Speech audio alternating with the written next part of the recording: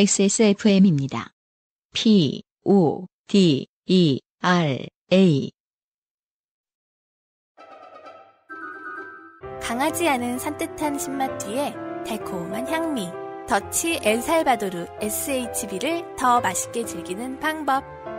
가장 빠른, 가장 깊은 아르케 더치 커피. 어, 첫 번째 사연은 저도 겪어본 적이 있어가지고요. 음. 소소하지만 이게 말이 소소하지. 예를 들어 소소한 게 뭐 있을까요? 저는 매해 2월 첫째 주가 공인인증서가 만료되는 날입니다. 개인. 아, 그렇군요. 근데 이 1년이라는 기간이 참 애매한 게요. 음, 음. 그 방법을 다 기억하고 있긴 좀 어려워요. 1년 동안. 맞아요. 그래서 네. 공인인증서 새로 할 때마다 죽을 것 같습니다. 모든 은행 사이트에서 다 바꿔줘야 되고. 그쵸. 예, 이제 무슨 저축은행 뭐 5만 가지에서 다 바꿔줘야 되고 노란우산 공제 그것도 또 모바일 앱마다 또 다 새로 등록해줘야 되고 아, 예. 듣기만 해도 땀이 납니다, 저는. 한 주 안에 해야 돼요. 죽을 것 같아요. 네. 짜증나서 음. 그런 류의 얘기입니다. 아, 별거 아닌데 사람의 숨을 턱 막히게 하는 음. 박영미 씨가 보내주신 사연입니다. 안녕하세요. 부산에 사는 박영미입니다. 2년 반 만에 휴대폰을 바꿨습니다. 휴대폰이요. 2년마다 바꾸잖아요. 네. 그래서 바꿀 때 처음에 뭘 했는지를 꼭 다 까먹고 시작합니다. 저는 늘 그래요. 하루의 대부분을 집에서 노트북을 끼고 사는 잉여인지라 휴대폰 사양에 그다지 관심이 없었던 저는 앞뒤가 안 맞는 말입니다. 네. 잉여가 얼마나 이런데 목숨을 거는데요. 능력은 안 되지. 아니, 갖고 싶은 것만지. 근데 어쨌든 네. 이제 노트북이 더 메인이다 보니까 음. 우리가 이제 휴대폰을 아. 하는, 하는 일들을 다 노트북으로 하셨기 때문에 문제인 것 같아요. 아, 네. 그 정도만 해도 되게 그 청렴한 잉여라고 생각해요. 음. 한 가지 기계만 그럴 수도 있네요. 충족되면 괜찮다. 네. 그다지 관심이 없던 저는 다이렉트몰에서 가장 낮은 가격의 휴대폰을 골랐으나 그것은 언제 재입고가 될지 모르는 품절 상품이었습니다. 남편은 옆에서 최신 폰을 사라고 뽐뿌질을 했고 네. 보통 배우자가 어, 상대방의 기계를 최신으로 바꿔라 그쵸. 라고 푸시를 넣을 때는 제가 아는 선에서는 이유가 하나밖에 없어요. 음. 내걸 바꿀 때가 됐기 때문입니다. 예, 밸런스를 맞추기 위함이다. 아, 배우자 걸 바꾸라고 한 다음에 자기 것도 바꾸겠다? 그렇죠. 음. 그러니까 내 신발 살라고 애기 신발도 사고 그런 사람도 있어요. 애기 신발 보면서 이렇게 대화 주제를 돌리고 아 이쁘다 이러면서 내 거 살짝 밀어넣는데 이것도 샀다 하면서 노트북은 몰라도 2, 3년이면 바꿀 휴대폰을 100만 원씩이나 줄 거냐는 양심의 소리와 타협하여 적당한 가격의 보급형 휴대폰으로 기기 변경을 했습니다. 폰 구매 후기에 유심히 사이즈가 안 맞아서 고생했다는 글이 있었지만 이해가 가지 않았습니다. 전 유심히 들어가는 스마트폰을 쓰는 게 이번이 두 번째였거든요. 네. 아, 유심에 대한 이야기입니다. 음. 어이? 유심이 왜 안 맞아? 지금 쓰는 폰 유심은 큰 사이즈에 뜯어낸 작은 사이즈 유심인데 이건 큰 사이즈 유심을 쓰나? 그거 버렸는데? 에 모르겠다. 안 맞으면 사러 가지 뭐. 하고 저는 유심 선택란에서 과감히 쓰던 걸 쓰겠다에 체크했습니다. 어, 불안합니다. 왜냐면은, 먹구름이 끼고 있습니다. 여기까지 읽었을 때, 네. 뭐가 잘못됐는지 잘 모르겠어요, 제가. 아 진짜요? 네. 아 저는 동일한 일을 당해본 적이 있어서요. 그러니까 지금, 어, 유심, 작은 사이즈 유심을 쓰는데, 이건 큰 사이, 저기 뭐냐. 쓰던 유심을 쓰겠다. 유심 사이즈가 안 맞는다는 게 이해가 안 된다. 네. 네. 음. 왜냐면 저는 유심 한 번도 바꿔본 적 없는데요. 음, 그러니까 그 사이즈를. 아 아이폰을 계속, 바- 기기 변경 계속 해오면서, 5, 그럴 수 없을 텐데요. 한 번 작아졌을 텐데요. 그런가요? 이런 사람이 있어요. 네. 인생 편, 그러니까 나쁜 사람이 아니에요. 멍청이도 아니야. 그냥 인생 편한 거예요. 좋은 거야. 아니, 그니까. 고생한 기억마저 잊어버리는 놈들이 어, 있어. 그렇죠. 아, 그런가요? 아니, 근데 뭐, 아까 핵심이 그거였잖아요, UMC도. 자꾸 까먹는다. 처음에 어- 뭐 했을 때 까먹는다가 기준이었, 그, 중요한 핵심 아니었습니까? 네. 저도 아마 까먹은 것 같은데. 음. 보자. 그러니까 다음번에 개고생할 수 있다는 거예요. 네. 그리고 며칠 후 택배로 새 휴대폰이 도착했습니다. 신상이란 좋은 것. 떨리는 마음으로 개봉을 하고 유심 슬롯을 열고 나서야 알게 되었습니다. 이 휴대폰은 훨씬 작은 유심을 쓴다는 것을. 네. 네. 부랴부랴 인터넷을 찾아보니 제 건 마이크로 유심이고 요즘에는 나노 유심을 쓴다네요. 아, 이제 기억났어요. 그죠? 네. 그때 어떻게 했어요? 와, 그 까맣게 까먹냐? 아, 저는 그 이통사를 갈아탔어요, 그때. 네. 아, 그- 그러면서 그냥 바꿔줬구나. 알뜰, 대리점에서. 알뜰폰으로 갈아타면서. 아, 그거 지금 알뜰폰이구나. 예, 예. 따로, 와- 따로 왔어요. 그게. 그래서 그걸 보냈나? 새로. 예, 새로 해서. 와서 그걸 뭐 보내야 보냈어. 되고, 예, 어. 저도 뭐 절차는 제가 덜 까먹었습니다만. 네, 이제 기억, 정말 이제 기억났습니다. 그죠? 음. 그리고 친절하게 마이크로 유심을 나노 유심으로 만드는 방법과 도면까지 나와 있었습니다. 인터넷 만세. 여기서는 이제 당해 보신 분과 당해 보지 않으신 분들로 청취자 여러분들이 갈릴 겁니다. 이걸 한번 진지하게 찾아보신 분들이 계세요. 이거는 유심 이제 바꿔끼면서. 그냥 물리적으로 짧게 자르는 건가요? 자르는 겁니다. 네, 칼로. 네, 그건 들어본 적 있는 것 같아요. 네. 저는 도면을 곱게 프린트해서 남편에게 건넸습니다. 신선한 표현이에요. 음. 프린트를 곱게 합니다. 네. 네. 고등학교 때 미술부였다는 남편은 저- 저보다 훨씬 꼼꼼하니까요. 참고로 남편의 사촌 형제들은 모두 미대 출신입니다. 아, 부모님 어떡해. 병나도 도와줄 자식이 없어. 근데 네. 어, 남편의 형제들도 아니고 사촌 형제들이 미대생인 거는 네. 그냥 그 정도의 비율로 미대생이 실제로 있지 않나요? 아, 그건 비율일 뿐이에요. 그건 가족 구성원의 문제가 아니라 혈, 혈통의 문제가 아니라 네, 네. 어, 인류를 구성하고 있는 그거의 비율의 문제다. 내 주변에 의외로 많은 사람 뭐 있지? LG 트윈스 팬 같은 거군요. 뭐야, 이 사람도? 좀 이런 그렇죠. 어. 지금 10개 구단이 있나요? 10분의 1 네, 정도는 10분의 1이 아니에요, 보면. 아니긴 하지만은 네. 네. 자, 돌아가신 작은 시아버님께서는 극장 간판 그리는 일 하셨던 걸 보면 일반화시키려고 묻어내 쓰고 그러니까요. 계세요. 이게 네. 예. 아, 글쎄요, 그 당시 세대 그 시아버, 작은 시아버님께서 원하셔서 극장 간판을 그리셨을까요? 근데 그 옛날에 하는 거 보면은 네. 그 극장에서 일하다 말고 너 이런 거 소질 있어 보이네 네. 하면서 시키는 경우가 되게 많았다고 하잖아요. 그렇죠. 근데 뭐 그 당시의 소질은 권력이 만드는 거 아닌가요? 그냥 사장님이 어, 넌 소질이 있다라고 세 번 말하면 네. 대신 옥상에서 방을 내주고 뭐 약간 옥탑방 쓰면서 이런 거 아니었나요? 아무튼 계속해서 처가 아 처가가 아니고 뭐죠? 시댁 아, 아, 시댁의 식구들을 아, 미대생으로 싸잡기 위해서 그렇죠. 김기춘처럼 노력하고 계세요. 어, 니들이 남이가. 맞아요. 그래서 네. 사실은 엄밀하게 말하면 이것은 책임을 지우고 있는 거죠. 이렇게 너희 집에 피가 다 미대생인데 뭐 결론 모르고 있습니다만 아직 음. 이렇게 피가 흐르는데 왜 못했냐 남편 탓이다 로 지금 보시죠. 뭔가를 지금 전제 상을 전제 상황을 만들고 있는 것 같습니다. 왜냐면 본인은 도면을 곱게 프린트해서 건넸거든. 네. 남편은 가위를 들고 호기롭게 외쳤습니다. 도면 필요 없어. 그냥 자르면 되지. 이런 배우자 매력 있지 않나요? 제가- 이런 사람이 안 돼가지고 모르겠어요. 가만히 있어봐, 이건 뭘 해야 되고 뭘 해야 되고 막 이런 스타일을 해가지고, 어, 이거, 이거 안 되면 어떡하지? 이런 스타일을 해서. 네. 그리고 몇 번의 섬세한 가위질 끝에 저의 마이크로 유심은 새 휴대폰 유심 슬롯에 들어갈 나노 사이즈가 되었습니다. 저희는 두근대는 마음으로 조심스레 슬롯을 밀어 넣었습니다. 근데 이렇게 마이크로 나노가 이런 어떤 되게 과학적으로 들리는 단어가 음. 가위 하나로 해결될 그렇죠. 개념인 거예요 원래? 그러니까 언제 그 저도 인터넷에서 그거 뒤져보면서 되게 신기했었어요. 와 이게 그냥 가위질로 되는 거라니. 어, 뭐 전자현미경으로 뭘 건드려야 될 것 같은데 그냥 가위로 자르면 나노가 되고. 물론 신랑분처럼 가위로 슥 하진 않았겠지만 보통 도면 위에 놓고 도면을 아래에 놓고 그 유리 같은 걸 위에 놓고 그 다음에 칼질을 하라고 보통 권하더라고요. 와. 붙여놓은 다음에 음. 저희는 두근대는 마음으로 조심스레 슬롯을 밀어 넣었습니다. 후기 중에는 억지로 집어넣었다가 슬롯이 열리지 않아 AS 센터에 갔다는 말도 있어 조금 아니 많이 무서웠습니다. 새 휴대폰을 받은 첫날 AS를 받는 건 너무 슬프잖아요. 다행히 남편이 커팅한 유심은 무사히 새 휴대폰에 장착되었습니다. 그리고 잠시 후 개통이 완료되었다는 문자가 왔습니다. 어 성공한 건데요. 음. 저는 기뻐하며 남편에게 전화를 걸어봤습니다. 근데 이게 웬걸 전화가 안 되더군요. 남편이 저에게 전화를 걸었습니다. 안 됩니다. 문자를 보냈습니다. 안 됩니다. 네. 특이하죠. 음. 문자를 받을 수 있는데 전화를 걸 수 없다. 그렇죠. 개통이 원래 이럴 완료, 수 없거든요. 개통이 완료되었다는 문자를 받았고. 네, 그러면 유심은 잘못한 게 없는 걸 수도, 남편은 잘못한 게 없는 걸 수도 있어요. 네. 대체 뭐가 문제일까? 남편과 저는 머리를 맞대고 고민을 했습니다. 커팅이 잘못됐나?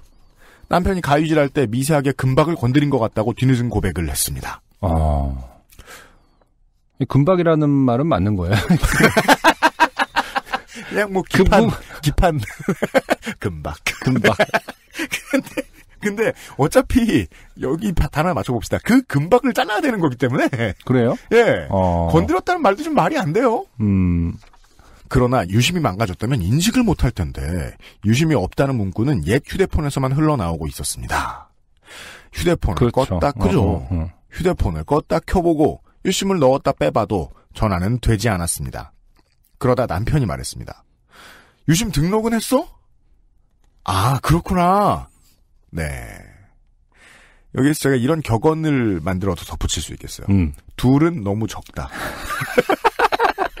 멍청이 신세를 벗어나기엔 둘 가지고는 부족합니다. 네. 네. 저는 만약에 자식을 낳는데 가장 중요한 이 실리와 관련된 이유가 있다면 네. 세 정도면 네 정도면 어떻게 해볼 만 하기 때문입니다. 자식은 옳은 말을 해주거든요, 종종. 삼각형이 괜히 완벽한 게 아니죠. 저는 서둘러 새 휴대폰과 동봉된 설명서에서 유심 등록 방법을 보며 열심히 키패드를 눌렀습니다. 안 됩니다. 숫자를 잘못 눌렀나? 다시 해봤습니다. 안 됩니다. 세 번을 더 해봤지만 안 됐습니다. 고장났구나. 결국 저희는 유심을 사러 나가기로 했습니다. 자, 긴가민가한 상황입니다. 네. 등록이 됐다고 문자가 왔는데 그렇죠. 새 칩을 사러 나가시고 계세요. 음. 밖은 비가 추적추적 오고 있었고 대리점까지는 걸어서 30분. 남편이 차를 꺼냈습니다. 거긴 주차할 데 없으니까 끝나면 전화해. 근처까지 오자 남편이 말했습니다. 저는 농담처럼 말했습니다. 유심 교환 못해서 전화 못하면 어떡해? 그럴 리가 있나? 혹시나 말이야. 그럼 코너 돌아서 저 끝에 있을 테니까 그리로 와. 저는 비를 피해 후다닥 대리점으로 들어갔습니다. 어서 오세요. 어떻게 오셨나요? 나 기기 변경을 해서 기존 유심을 잘랐는데 전화가 안 돼요. 직원. 어 그럼 유심을 바꾸셔야 됩니다. 전화번호가 어떻게 되시죠? 나 땡땡땡땡땡땡땡이요. 직원. 민증 좀 보여주시겠어요? 저는 민증을 가지고 오지 않았습니다. 네. 이게 흔히 이제 제가 얘기하는 예, 어쩌다 한 번 있는 별거 아닌 불편함입니다. 음. 음. 다시 후다닥 밖으로 나왔습니다. 짧은 순간에 남편의 차는 이미 사라지고 없었습니다. 저는 약속된 장소로 향했습니다. 저 멀리 남편의 차처럼 보이는 차가 있었습니다. 그러나 가까이 가보니 그건 다른 차였습니다. 네. 남편의 차는 어디에도 없었습니다. 어떡하지? 전화는 안 되고 문자를 아 그것도 안 되지. 그래 메신저 전화를 해보자. 네. 데이터를 써가면서 메신저를 깔고 나서야 생각이 났습니다. 자, 지금 계속 이상합니다. 네. 유심을 바꾼다고 나왔는데, 제 기능을 하고 있는 것 같죠? 음. 데이터를 썼어요. 그러니까요. 데이터를 써가며 메신저를 깔고 나서야 생각이 났습니다.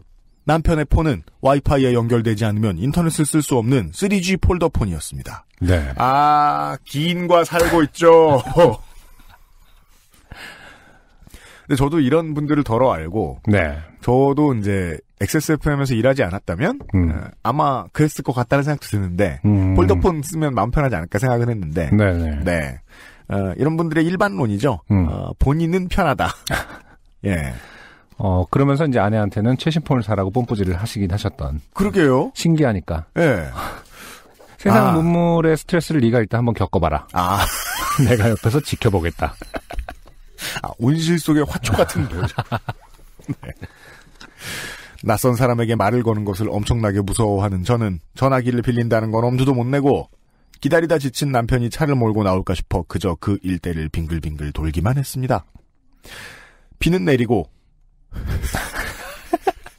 최근 안 좋아진 무릎은 다시 쑤시고 아, 그 무릎은 내가 슬플만 하면 아픕니다. 네. 무릎은 어떤 인체의 눈물 같은 거였나요? 네, 뭔가 감성 포인트인가 그 부분이? 눈물샘이 자극되면 모든 감성은 사실 무릎에서 나오는 거 아닐까요? 우리의 감성은 사실 마음에서 오는 게 아니라 관절이 약해지면서. 아, 그러니까 비가 오니까 짬뽕에 소주를 먹자는 건 이제 무릎이 시키는 아, 것이다. 그렇죠. 그래서 짬뽕 국물을 먹으면 무릎으로 가는 거죠. 아직 과학이 다 밝혀낸 게 아니기 때문에. 네. 슬플 땐 무릎이 아픕니다. 네. 인간은요. 대리점 영업 시간도 다 되어가고, 저는 결국 택시를 타고 일단 집으로 왔습니다. 아파트 앞에 택시를 대기시키고 집으로 올라가 서둘러 지갑을 챙겼습니다. 그때, 아, 재밌네요. 네. 이상하죠? 네. 전화벨이 울렸습니다? 요즘처럼 이렇게 그, 그 한파민 건조주의보 긴급 문자가 아닌 이상 전화 울리는 소리는 알 수 있지 않습니까? 네. 어이? 남편이었습니다. 나. 여보세요? 남편. 전화 되네? 나. 그, 그러네? 남편. 어딘데? 나. 나 민증 안 가지고 와서 택시 타고 집에 왔는데? 남편. 전화 되는데? 나. 그러게? 남편. 그럼 나 집에 가면 돼? 나. 근데 나 밑에 택시 대기 시켜놨는데? 네. 남편. 그럼 어쩔래? 나. 전화가 되니까 유심을 안 바꿔도 되나? 남편. 근데 됐다 안 됐다 하더라. 아, 남편이 전화를 거셨을 때. 이것도 몇 번이나 걸어서 겨우 통화된 거야. 그냥 바꿔라. 아, 나. 어, 그럼 택시 타고 다시 갈게. 그렇게 전화를 끊고 택시를 타고 대리점으로 가서 유심을 바꿨습니다. 저는 드디어 모든 일이 끝났다는 생각에 홀가분한 마음으로 대리점을 나와 남편에게 전화를 걸었습니다. 네. 안 받았습니다. 음. 전화를 안 받는 게 중요한가요? 사실은 결론에서 남편이 사라지는 건 아닐 거 아닙니까? 그럼 참 멋진 글이 될 것 같긴 한데, 네. 사실 전 남편이 없었던 것입니다. 일곱 번의 시도 끝에 남편은 겨우 전화를 받았고, 저희는 그렇게 약 두 시간 만에 다시 재회할 수 있었습니다. 왜 이렇게 전화를 안 받냐는 항의에 남편은 전화가 안 왔다며 항변했고, 우리는 전화를 했니, 안 왔니, 투덕거리며 집으로 갔습니다. 그러나 집에서 다시 확인을 해봐도 남편과의 통화는 제대로 되지 않았습니다. 저는 문득 등줄기가 서늘해졌습니다. 이것은 흡사 공포 영화나 추리 영화에서 범인이 누군지를 혼자 알아챘을 때의 소름 끼침. 이거 오빠 휴대폰이 이상한 거 아니야? 껐다 켜봐! 남편은 미심쩍어 하면서도 본인의 폰을 재부팅했습니다. 그리고 통화는 훌륭히 완벽하게 조금의 잡음도 없이 이루어졌습니다. 네. 글 읽어주셔서 감사합니다. 좋은 하루 되세요. 아, 완벽한 결론이네요. 오피셜 네. 둘은 너무 적습니다. 근데 사실 이건 좀 여럿이었어도 아 전화를 들고 있는 사람이 세 사람이었으면 그러네요. 자연스럽게. 해결됐겠네. 아, 이런 거를 어떤 저출산 정책에, 사실은 아이가 아니어도 돼요. 어, 그렇긴 하죠. 주변에 이웃이든 친구든 다른 조건에서 실험할 수 있는 실험군 하나만 더 있었어. 대조군 하나만 더 있었어도 네. 음, 이건 해결되는 문제였습니다. 그렇죠. 하지만 네. 둘은 모자르다. 확실히 어, 부족하다. 어, 아주 네. 멋진 그 캐치프레이즈예요. 그 저출산 대책에서도 잘 맞는. 물론 뭐, 둘은 멍청할 수 있다. 하지만 꼭 아이를 낳으실 필요는 없고요. 음, 그렇죠. 많은 청취자 여러분. 네. 그냥 다른데 전화만 해보셔도 됩니다. 이런 상황에서는. 예. 아 근데 저라도 당했을 수도 있겠어요. 그렇죠. 네. 네. 이게 사실은 이 3G 폰에 대해서 음, 뭐다 그런지 모르겠습니다. 어느 정도의 믿음이 좀 있지 않나요? 오히려 더. 덜고, 예, 음. 덜 고장난다. 그죠. 약간 아날로그한 것들이 사실은 더 덜 고장난다라는 믿음이 좀 있지 않나요? 우리는 아날로그 버튼을 누르면서도 게임을 잘만 했거든요. 음, 그렇게 연타하면 고장나고 안 이런단 말이에요. 네네. 그렇게 생각했는데 또 요즘 나오는 그건 또 이제 보통 어르신용으로 마케팅하는 그 메신저를 쓸 수 있는 폴더폰 이런 거 있잖아요. 그렇죠. 그건 또 고장이 잘안 돼요. 아 그래요. 예. 그거는 이제 어 폰 이제 유통하고 판매하시는 분들한테 들어봤어요. 네, 이게 어르신들한테 나가는 것 중에 요즘 물건은 고장 잘 나는 게 꽤 있다고. 네. 아 남편은 그걸 쓰고 있다. 내가 보기에 음. 제가 보기에 근데 좀 궁- 효도 와이파이 폰. 궁금한 점이 하나 있는데 남편은 어디 갔다 온 거죠?